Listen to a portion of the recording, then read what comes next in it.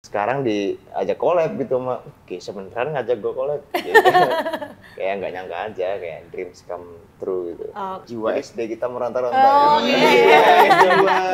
karena belum ada pacar ya. Gak apa-apa, gak apa-apa. Yang penting vokalis Geisha ya.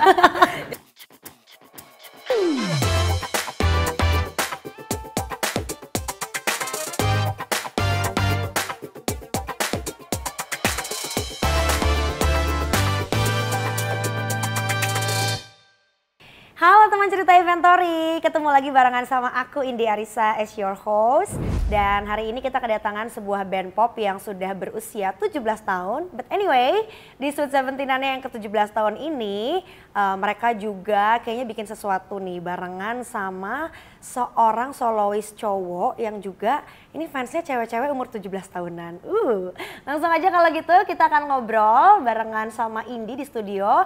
Ini dia udah ada Geisha dan juga Dul Jailani. Halo.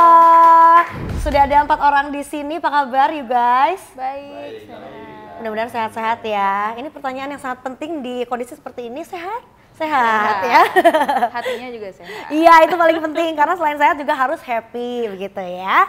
Oke, nah ini eh, seru banget sih dari kemarin juga ini udah lihat ternyata ada kolaborasi antara Geisha dan juga Dul Jailani. Kalau dari Geisha dulu deh, kenapa tiba-tiba mungkin eh, what's pop up in your in your guys mind kok tiba-tiba kayak kolaborasinya oke sama Dul deh gitu. Apa yang bikin kalian kayak yaudah Del- Dul aja yang collab gitu. Nih cerita dikit ya kayak Mhm. jadi em, awalnya Mang Geisha tuh punya rencana kita tuh ada pingin banget satu karya gitu satu lagu yang kita mau ada kolaborasi gitu kita pingin featuring tapi sama eh, musisi muda gitu musisi muda Hmm. Indonesia sebenarnya kita udah ada kita sempat eh, nyari-nyari tuh kita sempat eh, cari opsi gitu ya. Mm, ada beberapa ada penyanyi beberapa nama sebenarnya kayak kita cari-cari. Terus akhirnya eh, nggak lama dari pihak Musika Studios dari label kita kasihlah nama Dul Jelani. Hmm. Nah pas dari situ, pas dikasih nama Dul, kita langsung kayak nggak pakai lama, kita langsung kayak oke setuju deh, kita gas Dul aja. ya kan? Gas langsung gitu. Oke, tapi kalau dari uh, selain di luar manajemen dan juga mungkin sama label gitu ya, dari Geisha sendiri ngelihat karya-karyanya Dul, ada nggak sih satu lagu yang dari kalian tuh yang kayak jatuh cinta banget, wah ini lagunya Dul yang ini sabi banget nih gitu.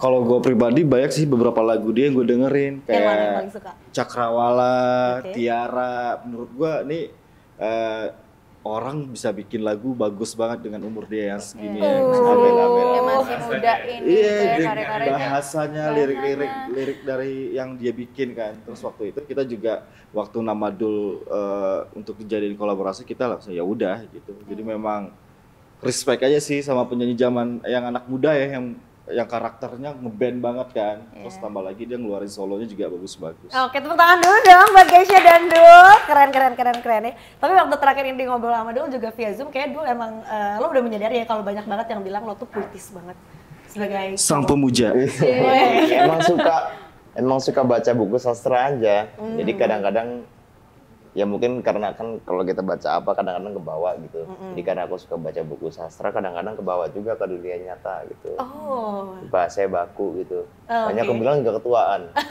Enggak ya Enggak. Tapi keren gitu, sesuatu Keren justru. berbeda ya justru. Iya, yang kalau menurut kebanyakan gua sih- baca buku sastra aja jadi kayak lebih baku gitu Oh, Oke, bahasanya iya menurut gue juga kayaknya agak langka di cowok-cowok zaman sekarang. Iya, Gitu, langka iya. banget. Di Kayak pada ke mana nih yang sekarang, puitis Orang kan zaman sekarang kan cowok-cowok bahasanya ghosting. Oh, dan PHP dan HTS aja. Ah, ya. itu, itu. Ah, Oh, gitu ya. Cowok tuh biasanya bingung kalau ditanya, jadi kita ini apa? Jeng, Iya, jeng, iya, jeng. langsung. Iya. Oke. nah, uh, dulu lo ngeliat Geisha gitu kan band yang tadi as I said before itu udah umurnya 17 tahun gitu. Berarti kan lo juga deket-deket dengan umur lo sekarang, lo bisa dibilang tumbuh dan berkembang dengan lagu-lagunya Geisha at the time Hmm. gitu kan ya. Terus kalau ini juga uh, flashback dikit, kayaknya yang paling nempel sama Geisha itu dulu lagunya Jika Cinta Dia. Waktu lagu itu lo umur berapa? kalau aku bukan itu malah aku lu bukan ingatanku Oh, lo bukan lagi aku gitu. ingat banget tuh kelas 1 SMP sama teman-teman di sekolah tuh lagu kalau zaman sekarang bahasa viral ya Mhm. viral banget terus di satu di satu sekolah tuh nyanyi lagu itu semua termasuk aku Oh. di jadi kalau aku dulu setiap sekolah tuh punya apa apa tongkrongan warung di warung tuh nyanyiin lagu itu semua gitu jadi Jamming-jamming makanya gitu pas ya. iya pas jamin-jamin gitar-gitar lumpuhkanlah ingatanku hapuskan tentang dia nah, terus sekarang diajak collab gitu sama oke sebenarnya ngajak gue collab. Kayak nggak nyangka aja kayak dreams come true gitu. Oke, one of your dream came true iya akhirnya bisa ya. diajak collab sama lagi Mas Robi lagi berha- berhalangan hari Mm-hmm. ini aku juga ngefans sama pribadi ya sama Fortune dia Mas Robi juga. Jadi seneng lah bisa collab sama orang yang yang aku rasa harus dicuri banyak ilmunya gitu Oke, jadi dapat juga sharingnya ya dari workshop bareng dan bikin karya bareng gitu ya.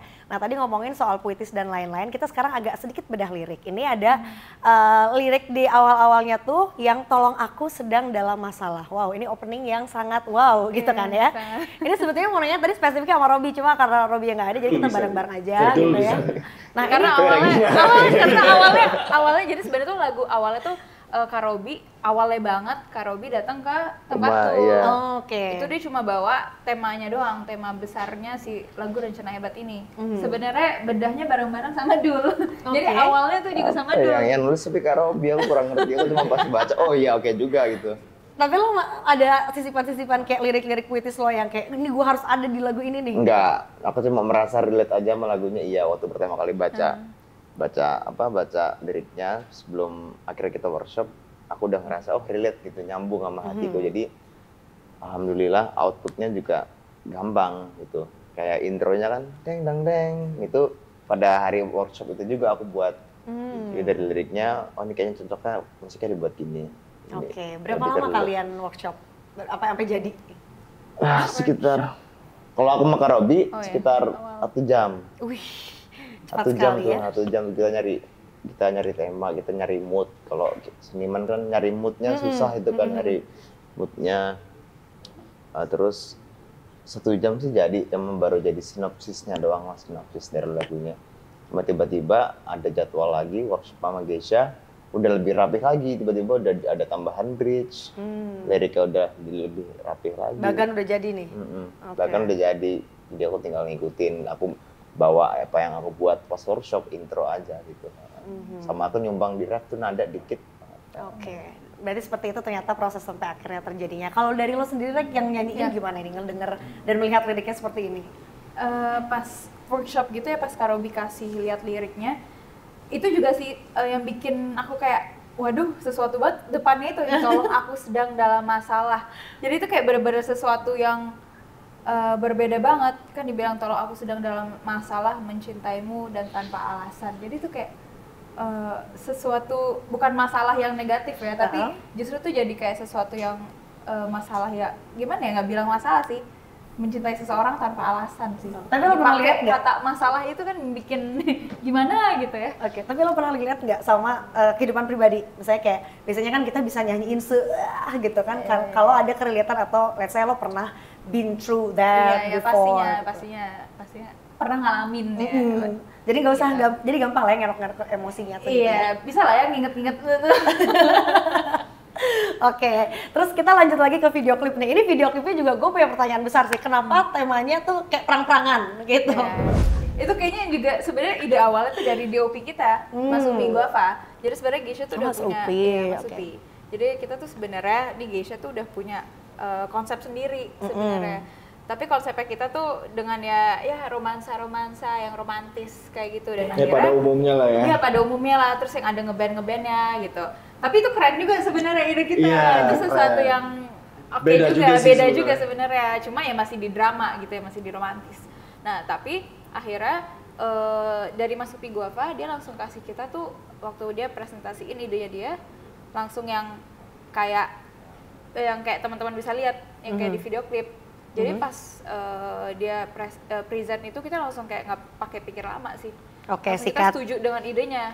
Karena mungkin dia memvisualisasikan si lagu Rencana Hebat ini mungkin dengan awalnya kayak tolong aku sedang dalam masalah. mungkin Oh, kali ya. jadi konsepnya like kayak- help me. Iya, jadi akhirnya kayak ada yang tembak-tembakan, yang gitu-gitu kali ya. Oh seru seru seru seru. Terus itu gimana sih? Jadi ceritanya lo tuh yang kayak ibaratnya eh, nyandra si dulu dulu, abis itu tapi lo jadi rescue bareng apa gimana sih? Iya, Dia jadi tuh jadi cepu. Oh cepu di geng-geng bocor ini. gitu ya? Iya, cepu jadi geng-geng ini. Jadi sebenarnya tuh aku apa ya bisa dibilang tuh intelnya lah, intelnya. Jadi aku tuh sama Dul sebenarnya. Hmm. Cuma aku eh, apa namanya gabung sama gabung kita nih sama jadi si perampok ini orang-orang jahat ini Iya. gitu loh. jadi Tokyo di sana Oh, Gitu. jadi langsung ma- ini ke film ini ya. Iya, Money Heist. Eh, Money Heist. Profesornya di mana ya, Mas Upi kali ya? Mas Upi ya. Tapi di saat layarnya. Mas Upi nge, apa punya konsep itu, gue udah mikir, ah, ini pasti kalau dia bikin udah pasti keren sih. Jadi kayak udah percaya aja gitu. Karena dia memang membebaskan kita, membebaskan kita di saat pe- eh, syuting kan. Karena eh, ya udah lu bebas lu aja. Ntar lu megang pistol, ntar lu tembak-tembakan. Ya udah, udah kita gitu aja. Jadi nggak ada yang terlalu gimana gimana banget ya mesti harus di setting banget ya. Jiwa SD kita meronta-ronta. Oh, ya. iya. Jiwa tembak-tembakan kita langsung keluar gitu. Jadi Oke, dan itu natural nggak usah latihan main paintball dulu sebelumnya nggak ada ya? Nggak ada, nggak ada. Langsung gitu. Berarti berarti udah sering bikin sama Mas Upi? Sering, lumayan sering sih beberapa kali. Iya udah sering. dari dari lumpukan ingatan Lumpukan ingatanku sampai Oke, terus kalau misalnya eh, lagu ini nih, tadi kan kita udah bahas lirik-liriknya juga. Kalau buat yang nyanyiin, ini duo sama Regina, eh, lo ngebayangin lagu ini buat siapa? Kalau dulu buat siapa?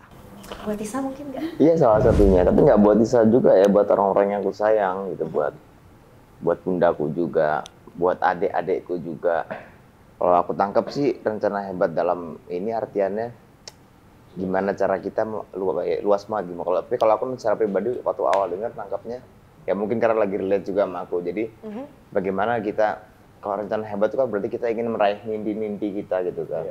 Tapi untuk meraih mimpi-mimpi kita ini kan kita harus memperbaiki diri dulu gitu. Kita harus membenahi hal-hal yang nggak benar dalam diri kita gitu. Contoh misalkan ketidaktanggungjawaban atau tidak tegasan atau banyak lah jadi kalau aku sih nangkepnya lebih ke lebih ke itu jadi kita harus memperbaiki diri dulu untuk berbakti kepada orang tua agar kita bisa membuat apa, orang tua bahagia jadi aku nangkepnya lebih ke situ sih lebih ke memperbaiki diri untuk meraih mimpi-mimpi kita jadi nggak Tisa doang bisa ke adik-adikku juga ke bunda juga gitu dan jadi kakak yang baik kan juga rencana hebat Oh, Oke mantap. kan. Emang pertama tuh within dulu ya, dibenerin Iya. dari dalam dulu, baru kita keluar. nggak cuma nggak cuma apa nggak cuma uh, pacaran-pacaran aja rencana hebat kan jadi kakak yang baik pengen lebih pengen lebih apa sedekah waktu untuk adik-adik itu kan juga termasuk bagian dari rencana hebat Hmm. Kalau dari lu, gimana? Eh, sama juga Madul. Jadi lagu Rencana Hebat ini emang luas banget ya bisa dari em, dari kita ke pacar kita, kita ke orang tua, orang tua ke anak, terus juga bahkan bisa ke diri sendiri, kita eh, diri sendiri juga gitu. Tapi kalau aku personally, aku juga em, menyanyikannya ini tuh lebih yang ke orang tua dulu sih karena belum ada pacar ya. Dulu. Gak apa-apa, gak apa-apa. Yang penting vokalis Geisha ya. Jadi maksudnya lebih eh, mendedikasikannya tuh lebih ke orang tua dan diri sendiri dan adik juga, Oke. keluarga sih. Nah, ini mungkin eh, ke Geisha nih ya, karena kan sebelumnya udah ngerilis banyak juga nih, ada Aku Katakan Dengan Indah, bareng Lukman Noah, and then ada Kenangan Terindah bareng Irfan, Sams, Irfan Samson, abis itu juga ada Demi Waktu yang sama Enda. Nah, sekarang bareng sama Dul yang judulnya Rencana Hebat ini. Kalau overall untuk planning Sweet Seventeen ini gitu ya, dari Geisha akan ada eh, surprise apa lagi nih? Apakah album misalnya?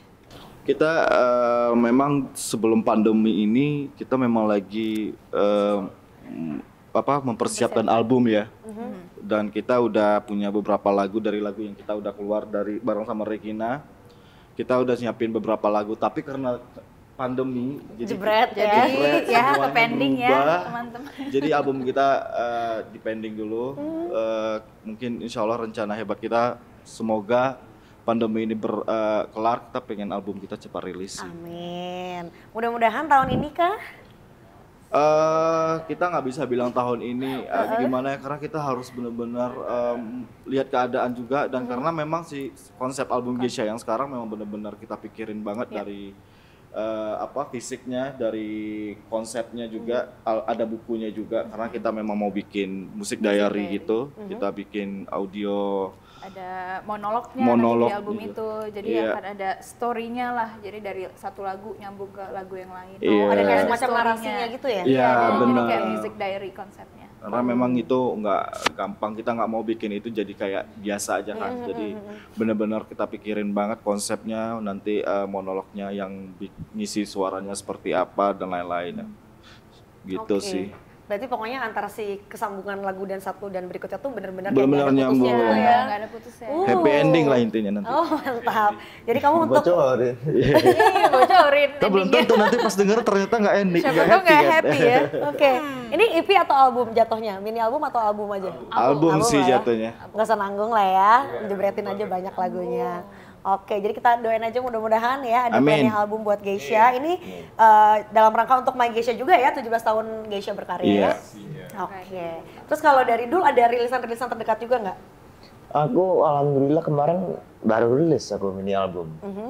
Itu bulan apa ya? Eh, oh, sorry ulang tahunku 23 Agustus 2020. Oke, jadi Itu masih alhamdulillah pawai baru betul. rilis baru rilis 5 lagu mini album. Juga ada bukunya juga, Ih. ada bukunya juga ada di Dul Jalani official merchandise kalau di Instagram. Mhm.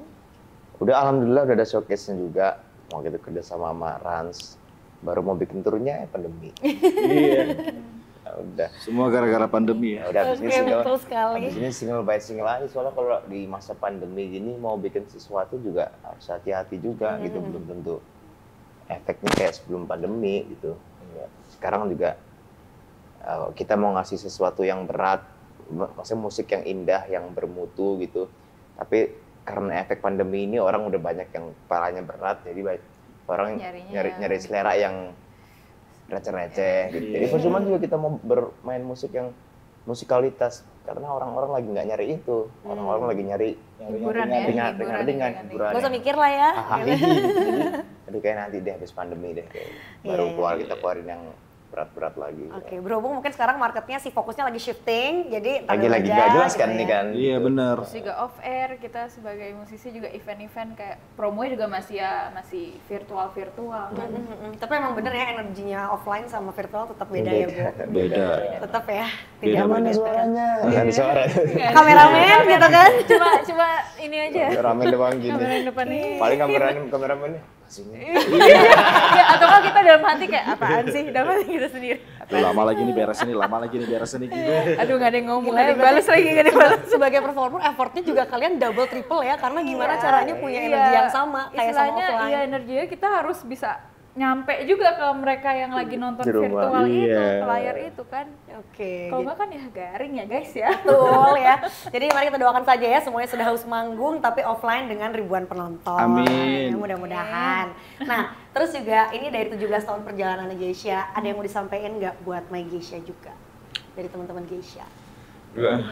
Eh, kalau aku sih yang pasti ini ya eh, kita selalu bersyukur aja sampai di 17 tahun ini masih bisa berkarya dengan apa pun perjalanan yang dari 2003 kita berdiri, 2009 kita di industri sampai sekarang tuh benar-benar eh, pelajaran yang berharga ya bagi kita. Perubahan itu nggak akan pernah bisa kita lupain gitu.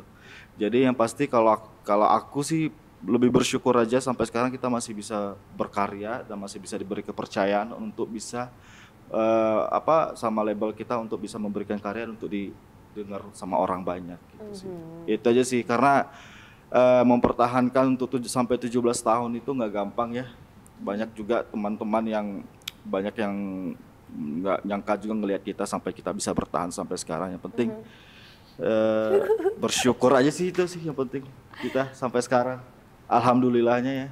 You guys dulu waktu zaman-zaman bikin Geisha tuh kayak emang nyangka gak sih akan sepanjang ini dan memang kayak visionnya tuh harus panjang ini gitu Geisha? Atau Enggak enggak? sih ya. Enggak sih ya. Lu ngalir Enggak, aja kita, gitu? kita dulu emang ngalir sih ya, karena berawal dari teman-teman nongkrong. Bentongkrongan? Iya, Oh. nongkrong cuman dari festival, begitu festival beres kita naikin lagi, bikin punya lagu. Mhm. Jadi ada step by stepnya. Jadi kita nggak mikir sampai wah sampai berapa tahun ya ntar ya. Yang penting kita jalani aja sih. Karena kita waktu masuk ke label pun juga nggak pernah mikir Benar. kita nanti harus masuk pengennya masuk musika waktu itu tepat cuma nggak yang gimana gimana tapi jalannya Iya. Udah ada jalannya udah ada kayak aja gitu. jalannya gitu kayak udah langsung oh tiba-tiba kita udah di label musika gitu Tapi dari lo berdua nih sama Regina atau Regina vice versa, ngerasain gak sih kalau kalian tuh ada sempat ada kayak generation gapnya gitu nggak? Oh, kalau awal-awal Atau ada bercandaan ya. yang nggak masuk, jokes-jokes yang nggak masuk gitu loh? Awal-awal sih. Gimana, Ya, gimana? Wajar lah ya, awal-awal kan aku kayak eh, anak umur pas masuk gabung sama Gisha tuh 19 tahun atau 18 tahun gitu kan. Di awal-awal pasti akunya, akunya yang ngerasain kayak Ini apa sih? Gitu. Apa ini kan kayak aduh gimana ya caranya how to keep up sama mereka nih ya. Tapi justru kayak kakak-kakak ini tuh yang kayak apa ya? Justru yang Ayo. ini banget, ngomong banget, ini ngomong. Mau. yang justru yang kayak eh, reach out ke aku gitu loh, kayak ayo Regina maksudnya bener-bener kasih yang seru-seru gitu loh. Iya. Kita bercandaan, Bercanda, bercanda. bercanda sama Regina, Regina nggak ketawa. Gak masuk, Nggak- masuk ya. setel ya kan, oke. ketawa sih, maksudnya tetap ketawa. Cuma Sampai ki, sampai dulu drummer kita nanya, Regina kita lucu nggak sih? Sampai nanya Iya gitu. iya iya. Takut, takut jokes om-om ya. Atau nggak pas habis latihan gini Regina, enak gak? Misalnya ngaransemen Regina, enak, suka. Kayak gitu. Kayak dia nggak komen bingung gitu ya. Awal-awal, cuman lah sekarang udah Sekarang aduh, udah, selau iya. banget lah sama kakak-kakak ini. Jadi punya kakak punya brother Iya saya. punya bro. Tapi itu hal yang wajar sih. Iya. Oke, nah kalau dari Regina nih, lo sempat atau dari teman-teman ada kayak eh, benteng nggak misalnya gimana ya caranya? Maksudnya kan Geisha sebelumnya sama Momo tuh udah kenceng banget image-nya gitu. Gimana caranya mungkin biar eh, nggak ke momo-momongan gitu, biar Ge- biar Reginanya tuh jadi Geisha yang ya udah gitu dengan Regina gitu. Ada yang lo lakuin khusus nggak sih? Kalau untuk dari awal tuh ya dari awal banget ketemu sama kakak-kakak Geisha, eh, mereka tuh udah bilang kayak Regina pokoknya tetap ya jadi diri Regina sendiri, nggak usah ngikutin em, sebelum-sebelumnya gitu. Boleh maksudnya ngedengerin emang untuk ini lagunya, cuma nggak usah pelajarin yang kayak maksudnya bener-bener be yourself lah gitu. Dan juga emang kita eh, dari latihan gitu kita rearrange lagi tuh semua lagu-lagu Geisha yang emang em, yang hits-hits yang kemarin gitu. Jadi emang bener-bener ngikutin dengan eh, warnanya Regina gitu. Oke, dan mungkin agak PR karena lo juga pasti dengerin lagu Geisha dulu Ya, dengan pasti. vokalis yang lama kan, Iya, gitu kayak iya, udah iya, nempel gitu iya, ya. Iya, iya, iya. Oke, baiklah guys, sebelum pamit ada hadiah dulu dari eh, Inventory. Nih, pandemi kan banyak yang tiba-tiba jadi plant jadi parent iya. ya. Kalian juga merawat bunga, you. silakan. Nih dulu jangan lupa disiram ya. Oke, ya udah.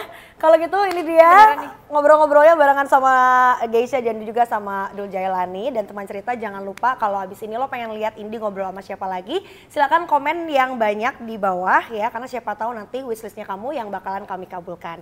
Ya udah kalau gitu aku Indi Arisa pamit dulu. Jangan lupa subscribe ke YouTube channel inventory.id, follow juga Twitter, Instagram dan juga TikTok semuanya di @inventory.id. Ya, ya udah kalau gitu India cabut dulu. See you when I see you teman cerita. Bye. Thank you.